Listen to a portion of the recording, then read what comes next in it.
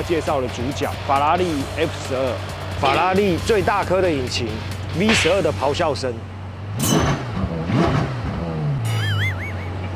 V 十二真的是不一样，我不知道该不该讲实话，怎么输？怎么怎么输大牛这么多？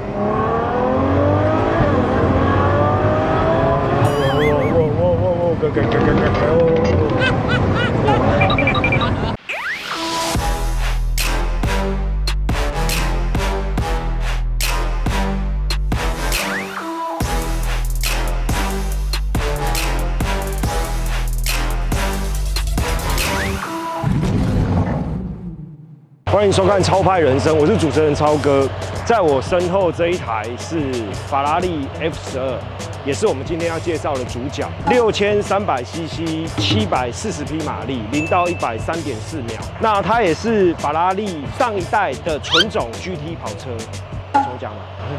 先先被你 啊，真的吗？刚刚才听到的，你看，对，跟大牛一样都是 V 十二，那大牛是六千五，它是六千三，它等于是法拉利自然进气里面最大颗、最大颗的引擎。之后，法拉利从四八八开始全面涡轮化，那究竟 F 十二有什么样的魅力？听说它在美国居然涨价，那就让我们来为大家揭开。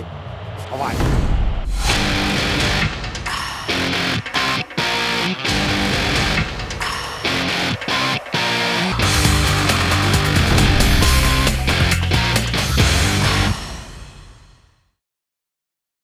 那今天一样，请我们的老朋友吉田哥哎，超哥好，来为大家好。介绍一下这一台超级跑车。然后先解释一下，为什么今天车子停的这么规矩？今天这里天气很好，所以很多爱车人士都选择来这边拍外景。我们自然要为大家留一点空间嘛，停好，把地方分一些给人家啊，不然我们被赶了，不然要怎么办？对不对？要体谅我们，好不好？我也很想停这样子给大家看最漂亮的画面。摄影师有替超粉补更好角度。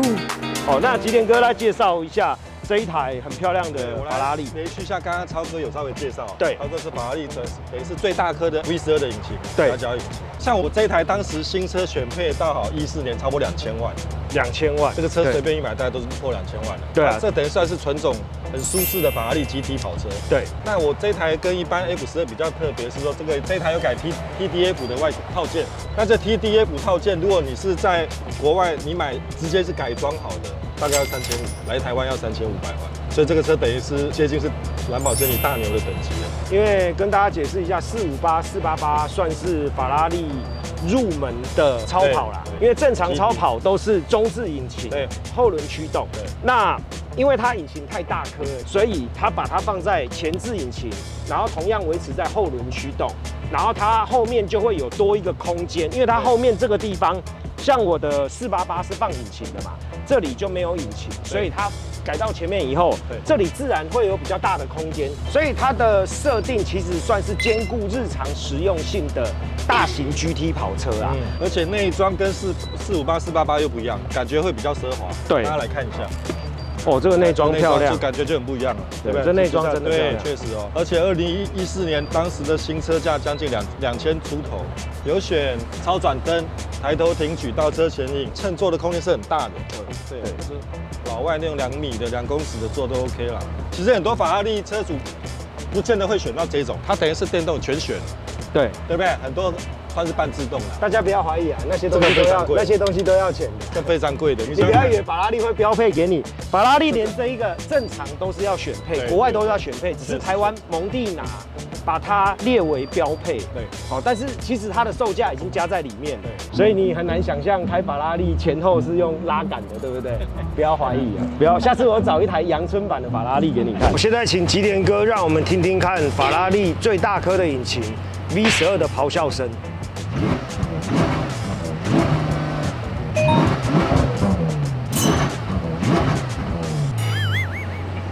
V 十二真的是不我不知道。该不该讲实话，怎么输怎么怎么输大牛这么多？对对对，大牛是鬼哭神，因为他也可能怠速稍微久了，等下在路上就不一样哦。，有可能有可能，对但，跟四四八八比还是有差哦。呃有啦有啦，四八八的声浪比它小很多。四八八是 V 八，然后双涡轮增压，涡轮引擎它的怠速其实声音很小，但是不得不说，四八八是一台非常非常好的车，而且它低速的时候，我就说它很像 Toyota，开起来没什么声音，可是你一过四千转、五千转，你速度七十八十公里，你油门踩深一点的时候，它还是会给你法拉利的咆哮。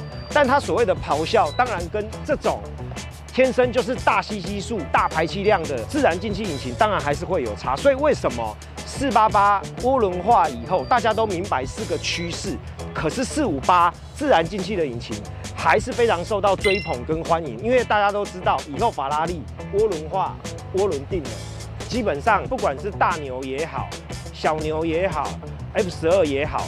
以后的车厂的趋势都不会再有大排气量的引擎了，你就知道这种车将来真的是绝响啊。像我有一个 A B C 的客人从美国回来，大概就就要跟打算要跟我们订这一台，他就在美国这个当地都涨价，因为这 V 十二以后没没有啦，这东西是不会生产的东西，你就价格就顶住了，再慢慢涨，就是这样。等下就带超哥去绕一圈，好，体验一下 F 十二的威力，还有它的声浪哦。当然它。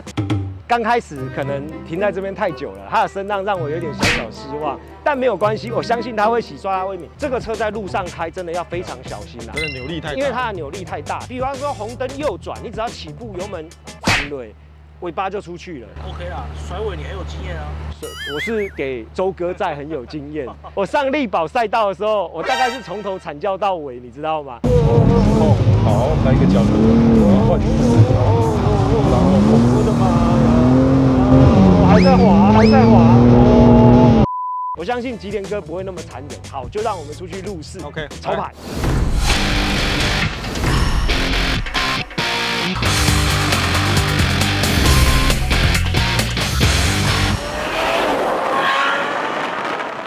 这个车说真的还是真的蛮舒服的。对啊。又快。装的质感，这个缝线，然后后面的置物平台，而且。我我们两个坐的位置是非常非常的靠后嘛，你看你看我的脚前面有多少位置？你看我的脚，我跟你讲，我伸长的脚都差一点弄不到前面了。你看我一百七十公分啊，而且对啊，那种球星在开，对啊，老外那种。你看我退到最后，我一百七十公分，我腿伸到最最长，还顶不到最前面，我要踮脚尖才有办法。开这台蛮适合去参加 party 的啦。参加一些聚会，对不对？对，舒服的。法拉利的外形哦，然后 GT 跑车，然后很宽敞的空间。开到五星级饭店喝个下午茶，停门口。对，就知道开这种，就舒服的。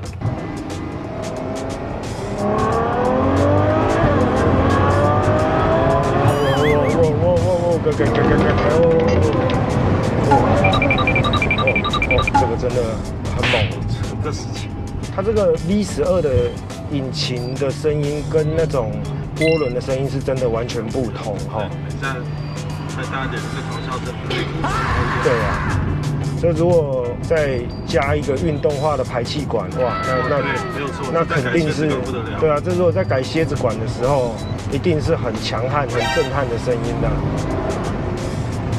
做这个节目给大家看，说真的真不容易啊！我也不容易，吉田哥也不容易，很热，很热。你看我们两个在太阳下说学逗唱，介绍这个车，你知道外面可能快四十度。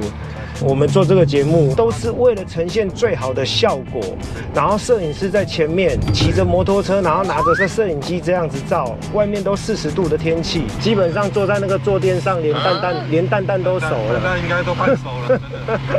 所以说，真的跟大家聊一下，就是做这些事情，其实真的都很辛苦。